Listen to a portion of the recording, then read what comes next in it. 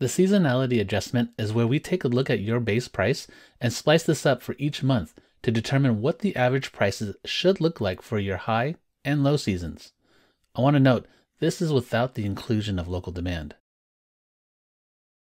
Depending on your market, you may see clearly defined high, low, and shoulder seasons.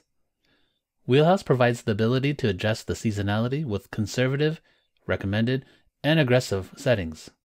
Selecting aggressive will cause the spikes to go higher and the dips to go further down, whereas conservative will lessen the peaks and valleys. Switching over to rule based gives you the ability to adjust individual months without impacting the surrounding months.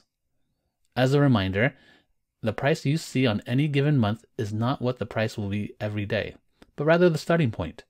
From there, other factors like local demand will impact the final price.